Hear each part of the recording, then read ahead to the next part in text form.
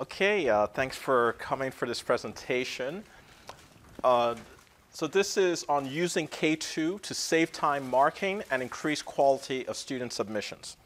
I tried to use a title that would attract people. uh, I'll talk about the content as I get into it. Um, so this is being recorded, though it records my voice, but probably if you ask any questions, I might repeat the question to make sure it's properly uh, recorded.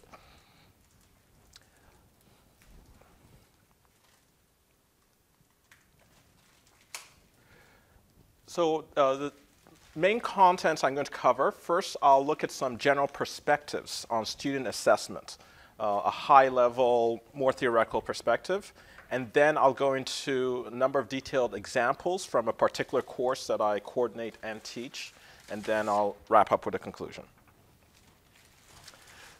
Now, to clarify, the scope of this presentation uh, because there's so much I'm going to cover, and I'm going to try to go quickly. Uh, of course, uh, ask questions along the way, and I'll answer them as we go along the way. But I'll have to move quickly so I can try to cover all the things there. But I will not explain how to create any of the things in K2. Uh, rather than that, there's going to be links uh, to documentation and videos on the how to create parts. What I'm going to focus on is first pedagogically why you might want to use these techniques. And then secondly, I will show you how they kind of work if you're using them uh, in class. Okay, so with that, I'll start with uh, some perspectives, uh, general perspectives on the idea of student assessment.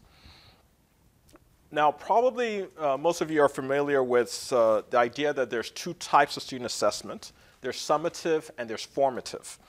And you can think of summative assessments. Uh, here's an analogy that I like uh, from a garden. Like if you're growing flowers in a garden, summative assessment is like measuring the height of the flowers to see how they're doing. But then the formative assessment is the actual nurturing. You're watering it, giving it fertilizer to help them grow. So summative assessment is assessment that really measures how students are doing along the way whereas formative assessments are the things we do, that they are assessments, but they're designed in a way to actually be an important part of the learning process. Uh, most student work assignments actually have a mix of both. It's very rare that something is 100% summative or 100% formative, and I'll go, I'll come back to this uh, throughout the presentation. Another uh, perspective of looking at student assessment are the stages of the assessment. And the first stage is evaluation. This is when students have submitted something. We actually read it to see what did they submit, and we look through it. Uh, so uh, it's also important to note that when we evaluate, we're not actually evaluating student learning, though we like to think so. We're evaluating their performance because it's a snapshot the only way to evaluate learning, you have to do a before and an after. When you see an increase in performance, that's the real measure of learning. Um, now, evaluation is always, if we're talking about assessment, evaluation is absolutely necessary. Then next is uh, grading, and grading is assigning a score to the work that we've evaluated. It's important to note that grading is optional. You can do assessment without grading. And the third stage of student assessment is feedback. And that is after having done the evaluation, we give some comments to the students in response to what we evaluated. Um, there's lunch there. You want to pick that? Okay. now, when we think about these two types, formative and summative, and the three stages of assessment, uh, it helps to understand different aspects. So looking at formative assessments in the first row, the evaluation is mainly to determine how well the students have understood the learning objectives. And a grade is optional. A grade is not always necessary. However, uh, if a grade is given, the grade itself is an incentive for students to take the assignment serious and to learn. And so I actually consider giving grades an important formative element in that it motivates students to put in the effort and learn.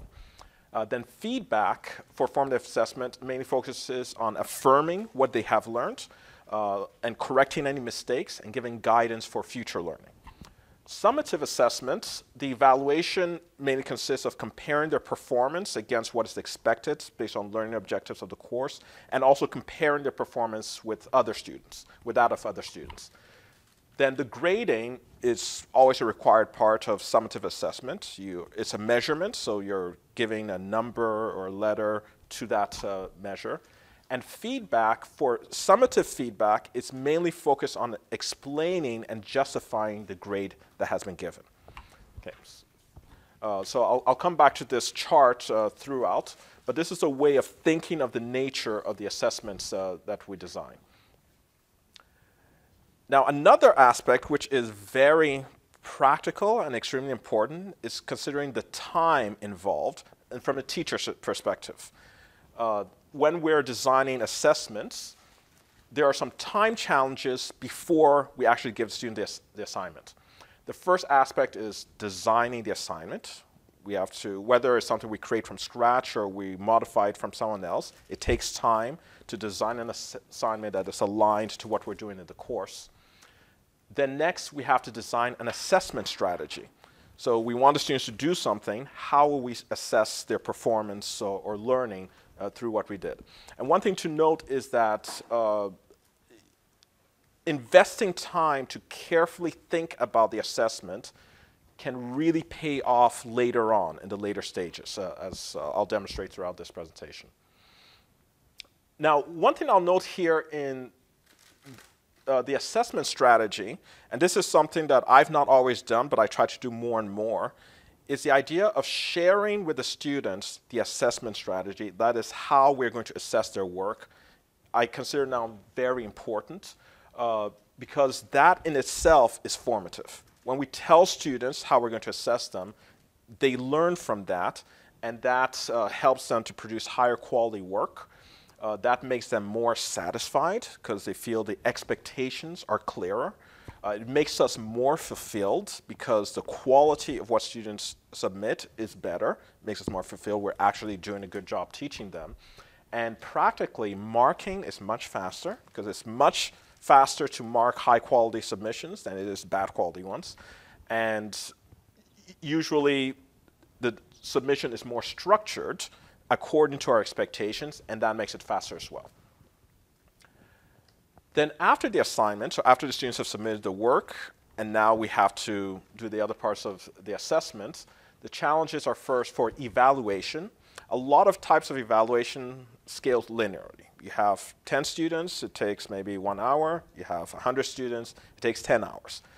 Um, so group work, by having students uh, do work in groups, can cut the time by three or four or five. But other ways to save time are one, automatic grading techniques. There are techniques to automatically do the grading so that time is reduced to almost zero. And another way of saving time is to rethink our assessments formatively, to design formative assessments. A lot of formative assessments save a lot of time in the evaluation, and I'll give illustrations. Then the grading part of the time investment afterwards is pretty much built into the evaluation or feedback. Then the feedback, that is, we give students the comments. There's a lot of issues, challenges similar to evaluation, that it scales with the number of students. Uh, but if we can give instant feedback, uh, automatic uh, feedback takes almost no time, but instant feedback, as in we teach them something, we give them an assessment, they get it, their responses right away, this is like the holy grail of formative assessment because this causes the greatest amount of learning. So if we can think of ways to incorporate instant feedback, that greatly helps the, the process. Uh, another aspect of thinking of the time investment is some feedback types are very repetitive. We're giving the same feedback over and over again. So if we can think of ways to kind of scale that, that we give the same feedback to all students at once, uh, that can save a lot of time. And the big issue is that personalized feedback, when we each student does not give exactly the same response, but if we can personalize the feedback to each student, that is the most valuable, but it's the most time consuming. So I'm presenting time challenges because ultimately, um, the ideal assessment strategy, if we want to maximize the feedback, especially the formative feedback we're giving to students, but we want to minimize the time investment because we're limited uh, with time, and the more time it takes, the fewer students we can give that feedback to. So this is kind of our challenge uh, where we're, we're going with. So I'm going to present a number of techniques to kind of meet these challenges, balance high quality feedback uh, and assessments with minimizing our time investment. But one of the techniques, uh, one of my key techniques are grading rubrics.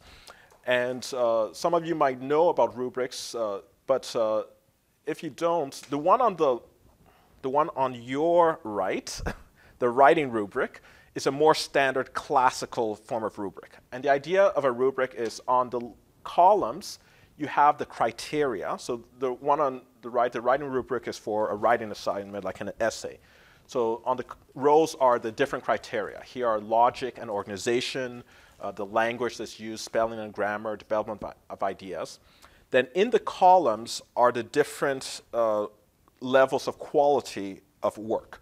So the first row, I'm sorry, first column is unacceptable work, and the teacher specifies uh, what is unacceptable about each of those criteria, then acceptable, then target, and exemplary. Uh, this is uh, the standard classic way of doing a rubric. Uh, however, I find it personally difficult to specify all the possible different levels of imperfect work. So I tend to always use a rubric more like the one on your left, which is um, a much simpler view. On the, on the uh, rows, what you pretty much have as criterion performance are the same details you have in the exemplary category. So you just specify what is an exemplary uh, submission, but in detail. What are the things that an excellent submission would look like, and you specify it in detail. Then the, the columns are simply needs improvement, fair, good, or excellent.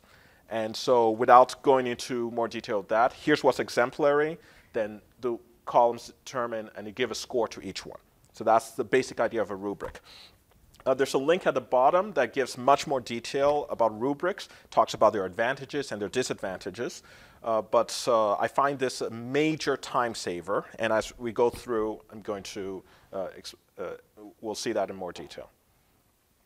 Okay. Any questions or comments at this point? Okay. So now I'm going to go into some uh, practical examples, and these all come from uh, the course on management of information systems in the digital age. This is a course that I'm the coordinator for on uh, the international SKEMA campuses, and I'm, I also teach, uh, so I, uh, I do both.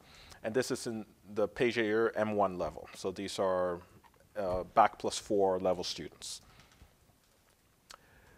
I'm going to look at different kinds of student assignments, and I kind of selected them based on their different assessment uh, properties. Uh, so I'll go into each one and kind of talk about some of the issues, the assessment uh, in those classes, and the techniques that I use for them. Uh, the first one is an in-class write, submit, and discuss exercise. So here, uh, this exercise is uh, called the ATM activity. I, I got it from uh, a published source. And on the bottom here, it says, uh, on the bottom left, consider the automated teller machine, and that's the assignment. So it basically has five questions, and so in class, I present to these students, and the goal of the assignment is to get them thinking about information technology, uh, but from the people side uh, of it. So there's five questions, and they know what an ATM is. So tell them to think about it. Then they have to individually, on their own, they can use the web or anything, but on their own, they have 20 minutes to answer these five questions. And on the right, the submission instructions, I tell them exactly how to uh, submit it uh, in there.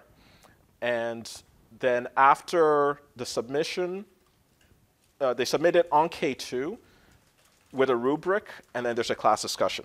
So let me show you uh, just very quickly. So this is, uh, no, not this one.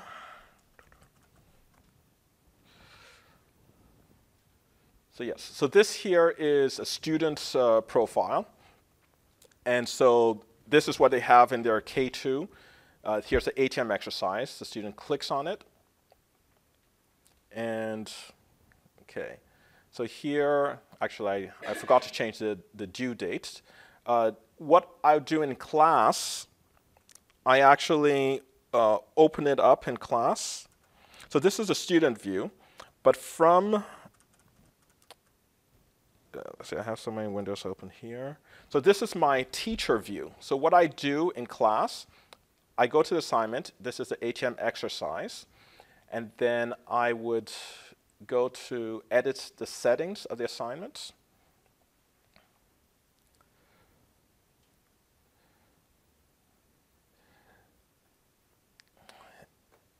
And I disable the due date.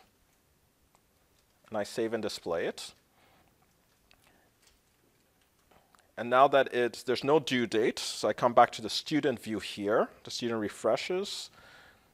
And now it's open, and the student can add their submission. Then I use uh, a timer. Let me open that up there. So this is one I like. It's called Hourglass on Windows, 20 minutes, and I put that on the screen. So on the screen, I have the instructions, and then I have the timer, the countdown timer and then the students have 20 minutes to work on this. And during the 20 minutes, I'm walking among the students, answering their questions, clarifying anything. Uh, it's actually helpful to look at their responses, give them uh, comments, have an idea where the students are going with it. So it's 20 minutes are active for me, though it's relatively silent, because I ask the students to work individually uh, on this. Then when their 20 minutes are up, okay, so a student, uh, here's uh, like a sample what a student might do. So the students, they type their responses into K2 here. They save the changes. And that's their submission. And they can edit it up to when it's, uh, the time is up. Then when the time is up,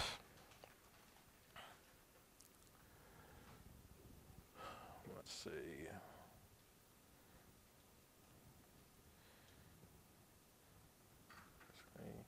So when the time is up, I go back to edit settings.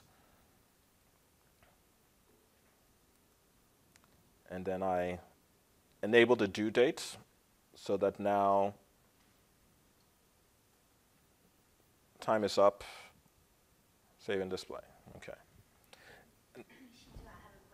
Yes.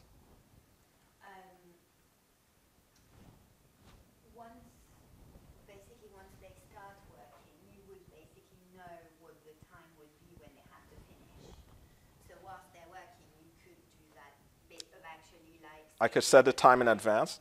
In practice, 20 minutes, time up.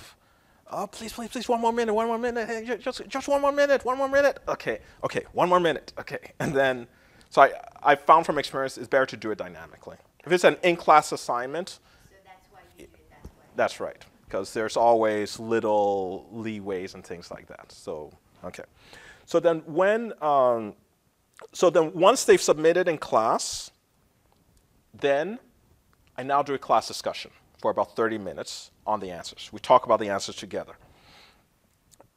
So the evaluation, I'll actually come back to the evaluation uh, in a moment, how I actually do the marking. Okay, But then the grading is just 1% of their total course grade. So very low stakes. And actually, if you do something like this, grading is optional because this is a formative assessment. And the main reason I have, uh, you have to know your student audience. If it's a very motivated student audience, there's no need for a grade. They'll do the activity, they take it seriously, you do the discussion. Uh, the learning comes from uh, the discussion, the, the feedback, the class discussion. And one key issue is that a lot of times if you try to have class discussion, you ask questions, no one answers. Well, here they've just spent 20 minutes talking about the exercise. They have, they all have something to say. So you know that it's not that they don't have something to say. It might be they're shy. So walking around, I know that some students have said something, and I might call them by name. or at least call them, you said something really interesting. And when you say that, you said something very interesting, it motivates them to speak up because we've affirmed what they said. So there's actually quite a, a, lively discussion for about 30 minutes, and the discussion is the feedback, is their learning uh, from what they have. So it's, it's a class uh, feedback, not individualized. Then finally, when it comes to after the class, you have to mark this. And I'll show you literally how I mark this. So after class, and this is just 10, but you have a class of 40 students or 100 students, and you have to mark each one. Well, knowing that this, the, the nature of this uh, here, so I go here, so grade, I start grading the first one. So the first one here, Okay, so this is the rubric, and the rubric here is very simple. One criterion, did they thoughtfully, appropriately, thoroughly answer the questions? Satisfactory, unsatisfactory, or unacceptable response. Here, I just click plus, 309 words, I go through, yeah, it seems like they said something meaningful, satisfactory, next.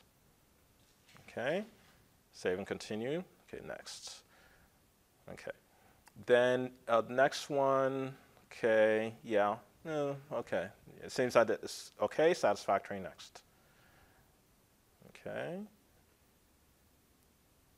The next one, 59 words only. When it's only 59 words, then I actually read it. I say, okay, what did they say? Did they really get to the point here? Then after reading it, I said, they, they barely talked about anything meaningful. Okay, this one's unsatisfactory. Okay. It comes out automatically. It's automatically counted. And so here, whenever I don't give anyone full points, I always give feedback. Uh, it's very important. Because now, the ones that gave full points, the feedback is right here. Satisfactory, answered well with careful consideration.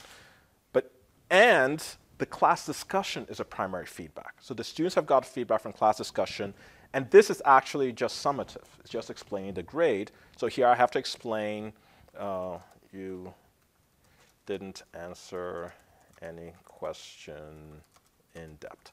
So this is really just explaining why they didn't get full points. And then, there you go. So save and continue. And I go on that way. Okay. And one little side effect of this also is if a student is absent from class, this is one way of taking attendance they get a zero because you know they didn't submit anything in class. Okay. So this assessment is very high on the formative assessment, uh, is very low on summative assessment, just 1% of their course grade. And the time and effort in marking, like I showed you, is minimal. So this is something that can uh, scale quite well. Yes? So I've got two questions okay. I'm really interested in, in all of this. It's great. Um, I mean, in language you know, classes, it would be amazing. Okay.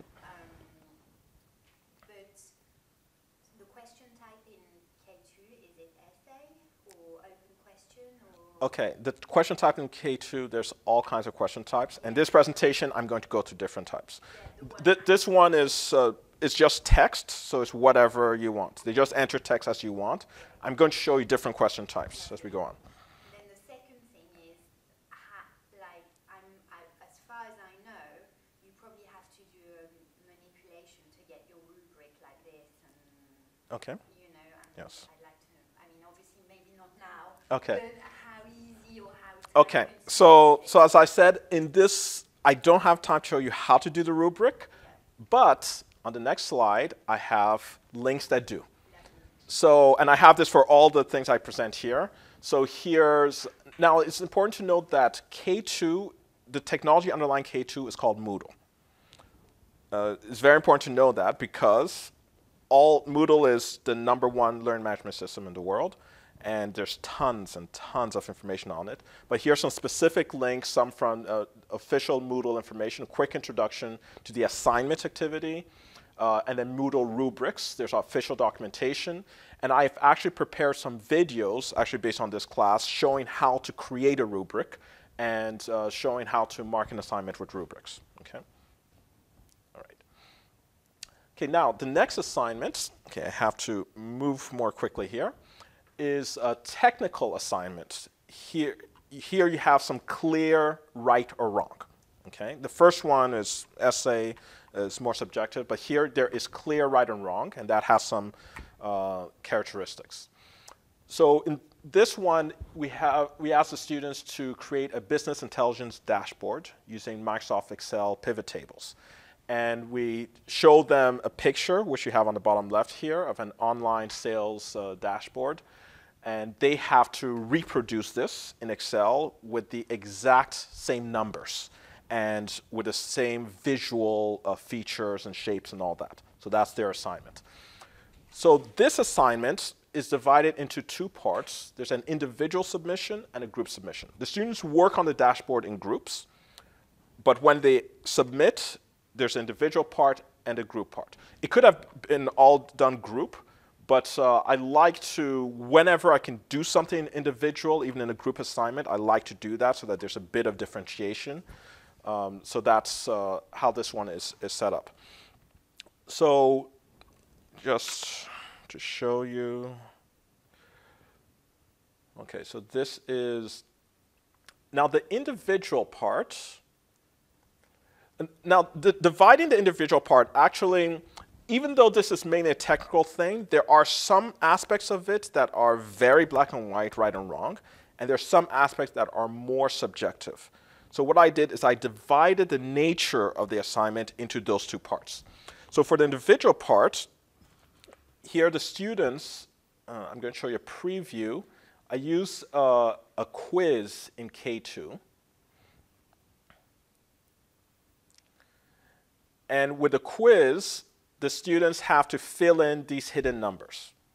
So what is the number here? So I've already filled this in from a previous uh, round they have to fill in the numbers. What is this number here? What's that number there? Then what's that number here? So they have to fill in the exact numbers, and K2 marks it automatically as right or wrong. And you can give a little leeway, like plus or minus 2 is counted correct, rounding off, and so on. Yes? Does it, um, so I used to do something like that when I did like maths. Okay.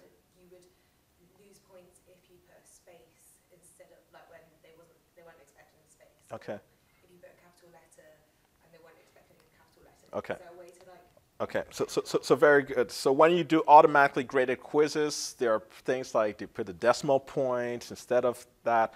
And uh, K2 is actually very good with that, that uh, you can set, uh, does case matter, and you can have, there's five different options. If you know there's five different ways, they could write cm or centimeter you accept those as two those alternate correct options. Uh, one of the great things is we cannot imagine all the other things, and students do typos and so on. So after the fact, you can add in. And so for me, whenever you do automatic marking, that's why I say it does not take zero time. You need to always review it, especially review the wrong answers, and see if there's any that you can give partial credit or it's just a typo, you give full credit and you don't have to think of it in advance. You just respond to what students have said, and you remark it automatically. So that's uh, so it's very flexible in that way.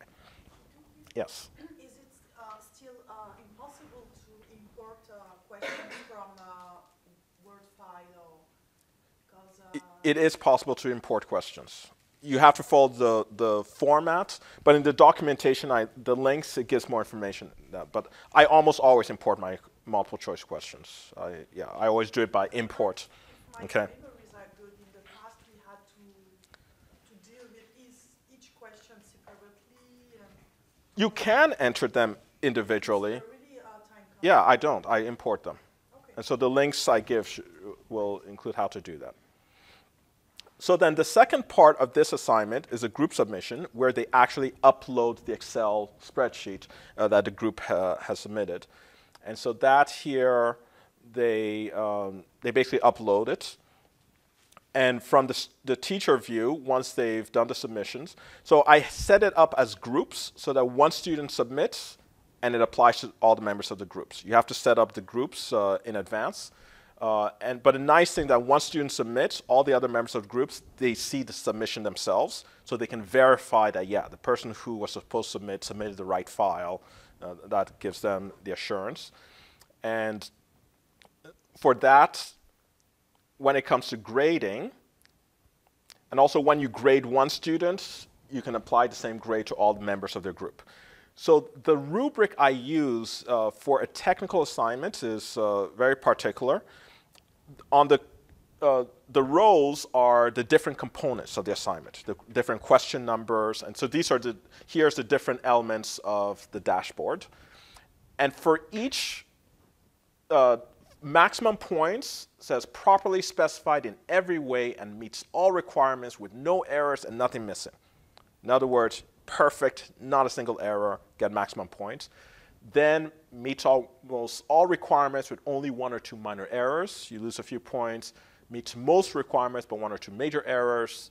Uh, fails to, uh, to meet most important requirements, and so on. So in this case, if the student is uh, perfect, then I don't give any comments. But anytime it's less than perfect, then I specify what was uh, the issue here. And usually I have a separate file with comments that I just copy and paste because they repeat the comments over and over again. But this greatly speeds up uh, the marking because the feedback is built in and you just specify on this part, here's the problem, and so on. And actually, if you want to write comments on the document, you can upload that document back as part of their feedback as well. Okay. So this assignment is um, I said, is divided into the objective part and the automatic part. And the grading here is 15% of the course grade. So it's relatively uh, high stakes for the students. Uh, the feedback I give them, now with the automatic grading, you can also have feedback there. So for specific wrong answers, you can prepare, if there's one you anticipate students give a lot, you can have feedback why that is wrong and again, it's not even you anticipate, it's from experience. You teach a course one time, you review the answers, then you modify your feedback for next time, it, it, it, just builds in. So it is possible to give individualized feedback uh, with automatic grading. And then the group feedback is through the K2 rubrics. So this assignment is uh, relatively low informative assessment uh, but is very high in the summative assessment. And the time and effort in marking is moderate, but separating the objective parts that can be automatically graded from the more subjective parts saves a lot of time. And using the rubric saves time in marking the objective parts. Again, here's the links of the different aspects. Uh, there's the Moodle quiz activity for the automatic marking. There's the assignment activity to submit uh, the, the spreadsheet. Moodle rubrics for marking, and then links to Moodle groups, how to set up uh, groups in Moodle. Okay, the time coming? Okay.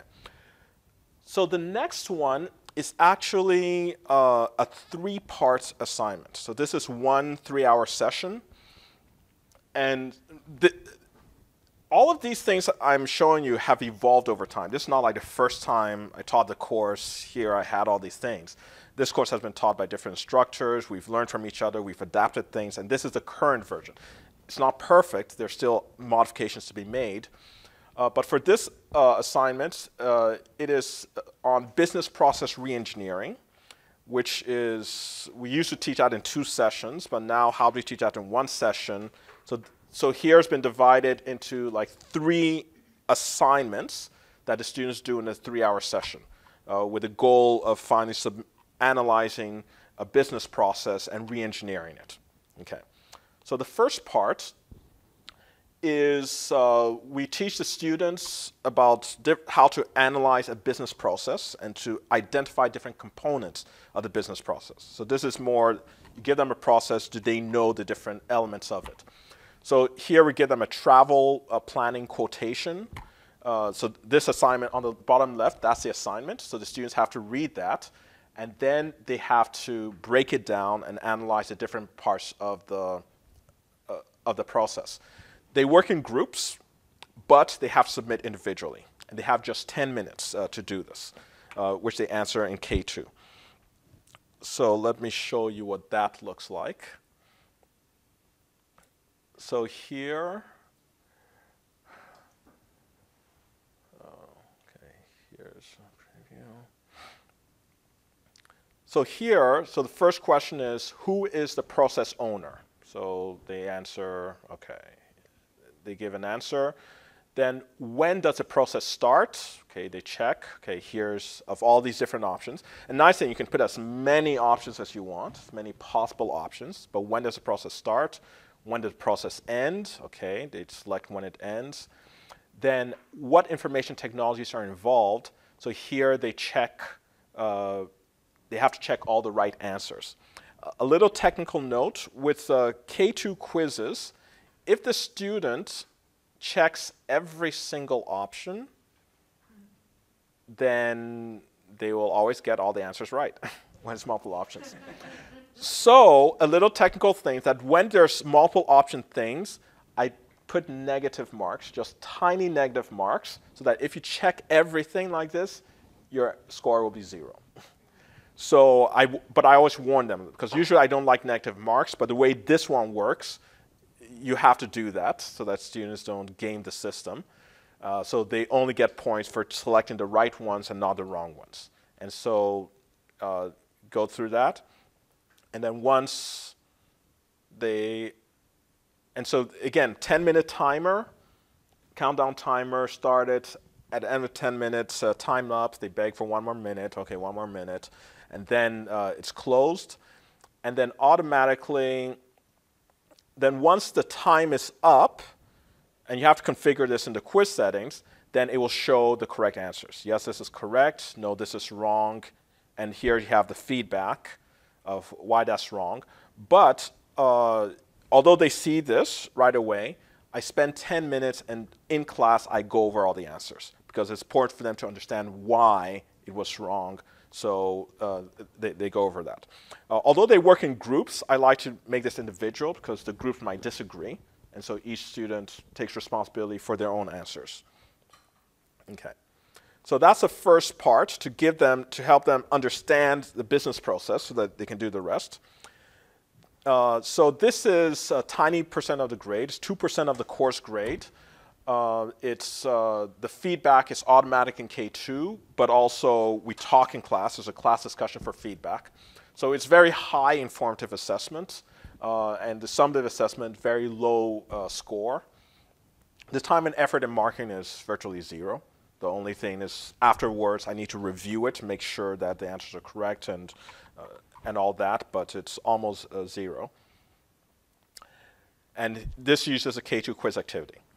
The next step of this assignment is the business pro, uh, process reengineering. So this is uh, it's a kind of complex thing for the students to do. So I first have a practice assignment in class. And this practice assignment, it's, it's not graded at all. So here they have to re-engineer this business process. In other words, uh, read the process, decompose it, so the same thing, identify the different process parts, and then uh, state what is the process, then find out the problems and redesign the process. So here I say the students must work individually and they do it on paper. And I give them 15 minutes. 15 minutes is not enough, but in a three hour class session, I'm not able to give them more time. So give them as much time as they can. Uh, but they have to individually work on this on paper. Then at the end, once uh, the time is up, then we have a class discussion and go over uh, the solution. And actually, I've already prepared my solution, so I can go quickly. So about 15 minutes, we go through who are the different uh, decompose the process, which is the same thing as the first assignment. Then I present the step-by-step uh, flow, and I present my solution. And then my solution, I actually, uh, it, I, it's already on K2, then now I unhide it, so they have my sample solution. So that's the second part. So this one, the evaluation, I don't evaluate them individually. It's just a class discussion. Again, it's good to walk around so that I have an idea what's going on, so and I can give them immediate feedback that way. Uh, there's no grading at all. Uh, the feedback is a class discussion and also my model solution. Uh, so here, formative assessment is very high. It's purely a learning exercise. The summative assessment is none, because I don't actually evaluate anyone individually, and there's no time and effort in marking. Um, one comment. So when you, because you have all of the data of the students, is there like a way to have a global vision on K2? Like for example, if there's a question that most of the students got wrong. Yes.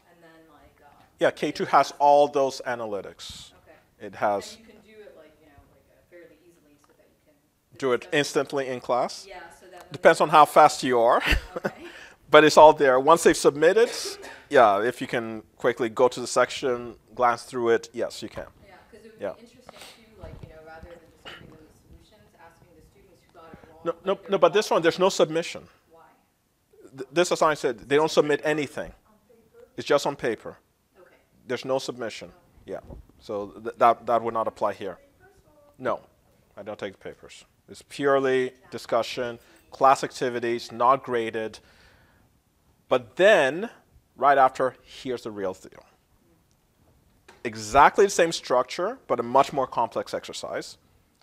Uh, and I usually tell them you first of all work on it for 15 minutes individually on your own On paper or on the computer? on the computer, How could- can you and then cheat. In what way?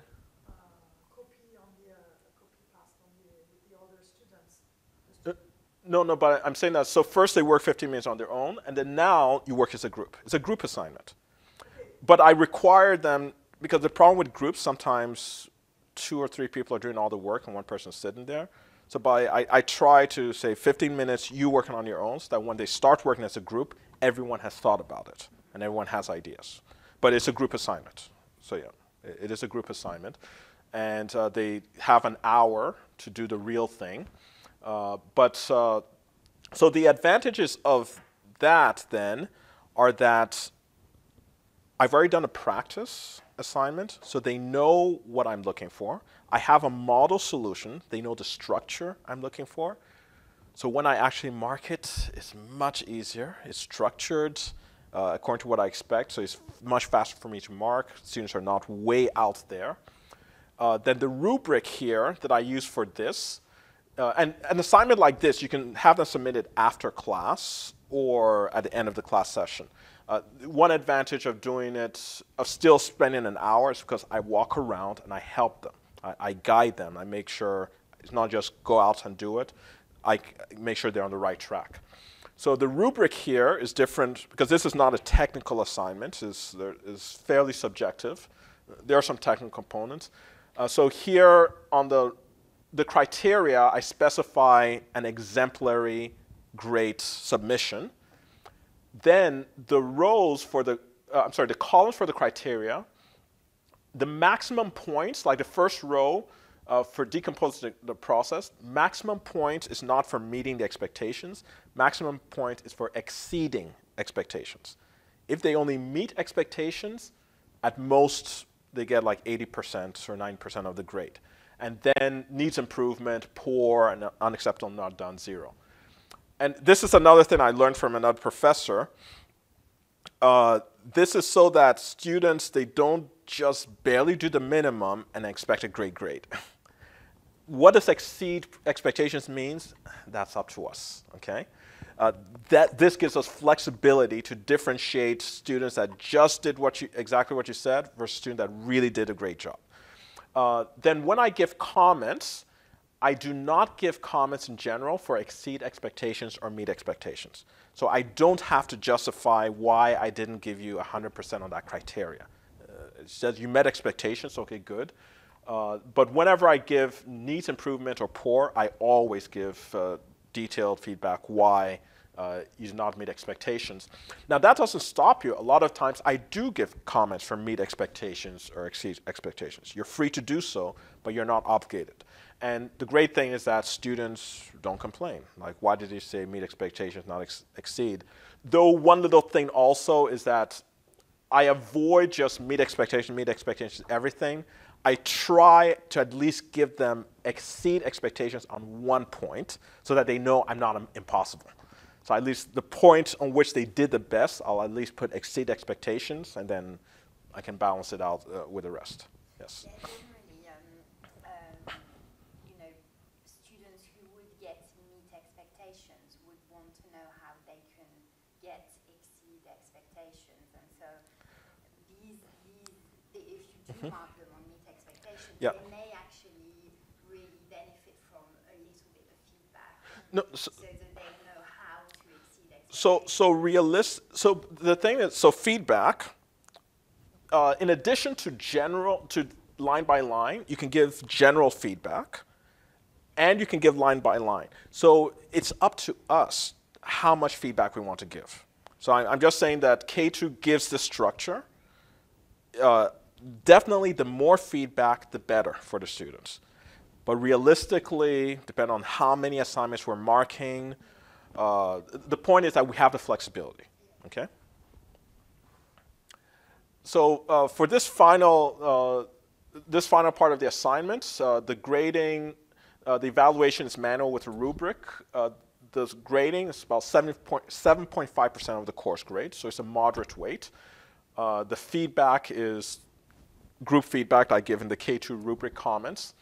Uh, the formative assessment of this last step is low because I've just done two formative assessment uh, exercises, which greatly increase the quality. The summative assessment weight is moderate, and the time and effort in marking in this part is moderate in that you have to read the assignments, but again, because the students know what you're expecting, uh, they are, they, you've given them a model that gives them a structure.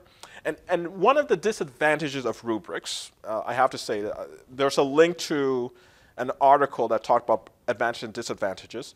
One of the disadvantages is that it can stifle student creativity somewhat, because then students only try to meet what the rubric says.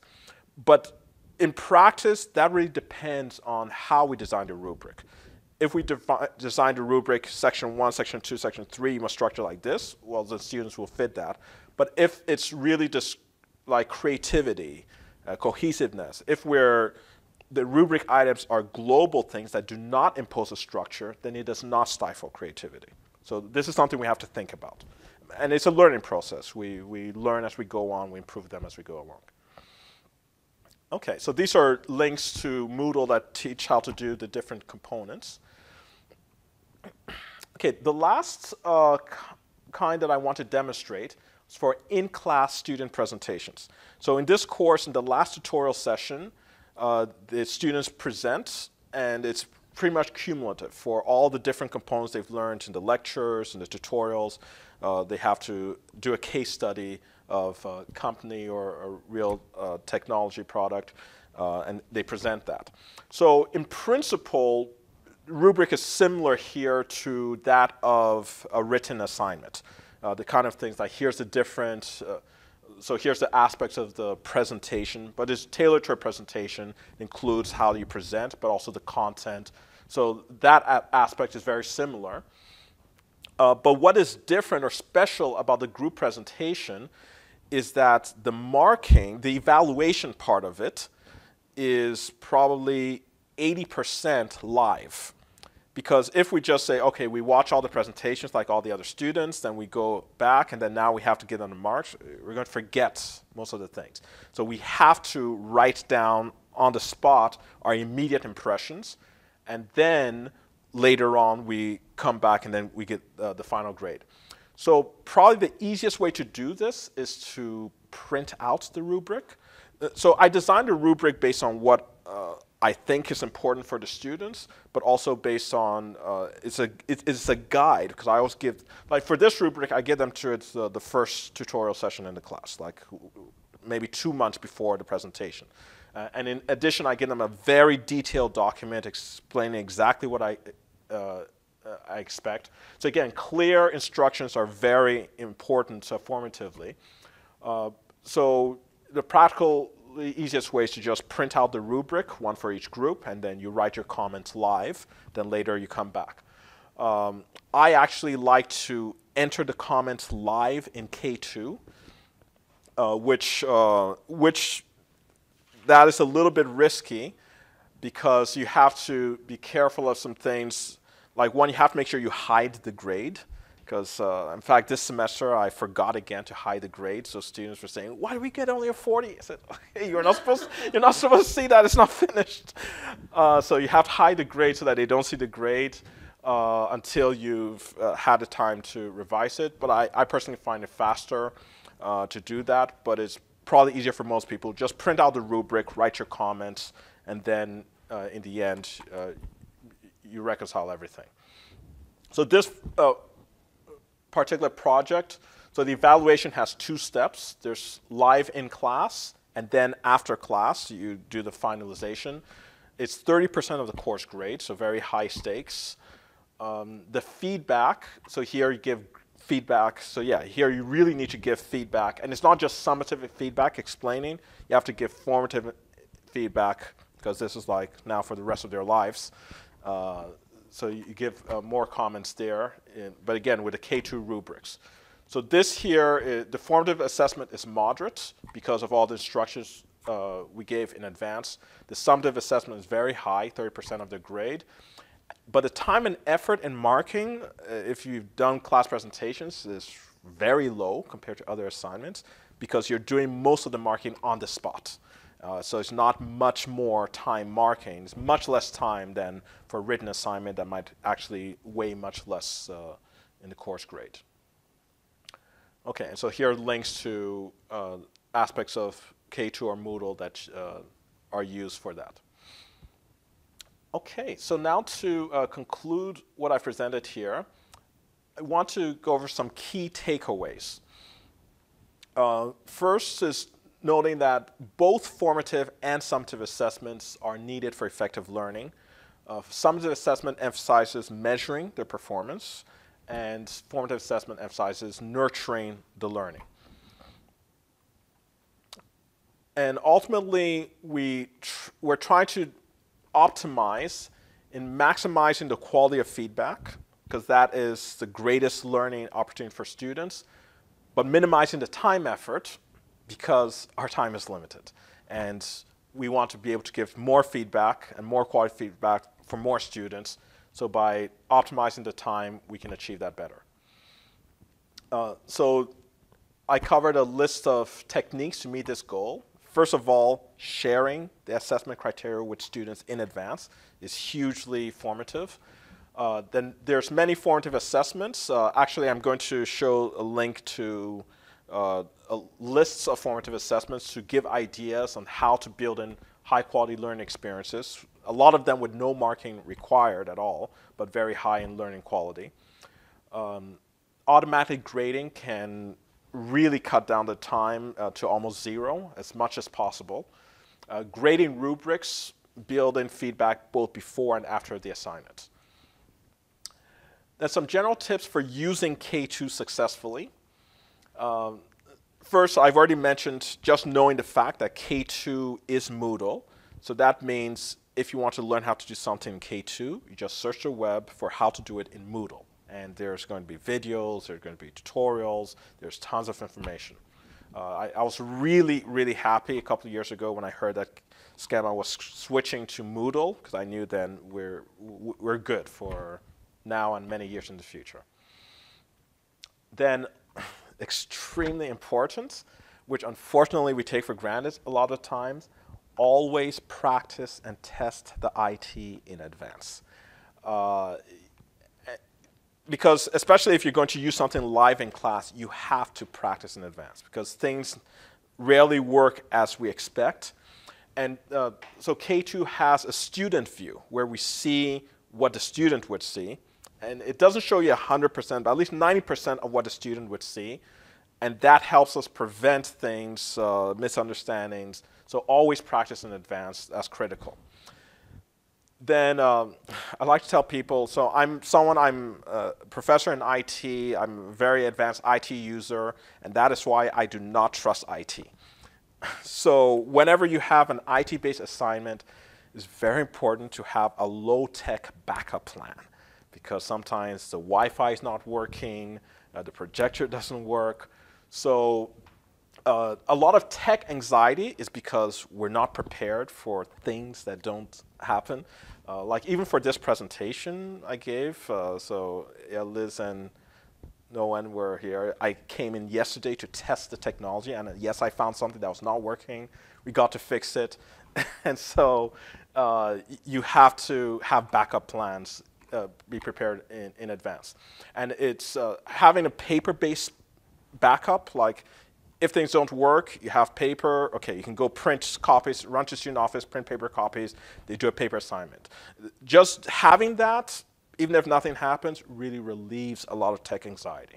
So I say that's uh, really important in designing any IT-based uh, plan. And even like using Kahoot. So when I use Kahoot for my uh, tutorials, I had I had like some paper uh, ideas that okay, if it doesn't work, they can raise their hands with colored paper. I didn't do it, but I was trying to prepare that.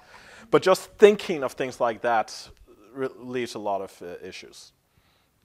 Then I mentioned here some links that have several uh, examples of formative assessments, uh, which we can, uh, and, and we can't do all of these, but there's probably one of them that we could design into maybe one or two sessions of our class. And students really appreciate these because it, it increases their learning, it breaks the cycle of just lecturing, lecturing, lecturing, and uh, designing into the course, evolving over time, uh, really does increase their learning.